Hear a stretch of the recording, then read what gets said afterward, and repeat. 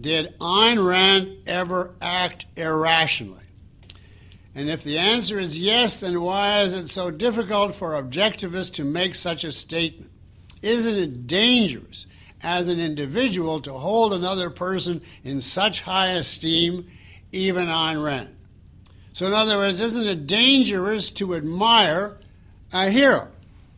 I certainly would say uh, it's the opposite. It's fuel to enable you to go on to find someone that good.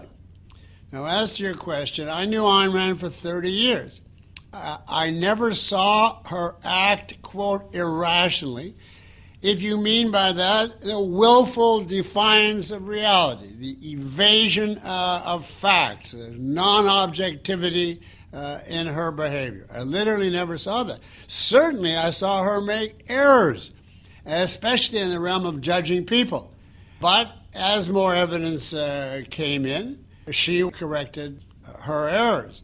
Now, if you think that it's a danger to recognize a hero as a value, it's because you think you have to be evading or distorting reality. Why? Because there are no heroes. There are no perfect people. Plato proved that. Christianity uh, proved that.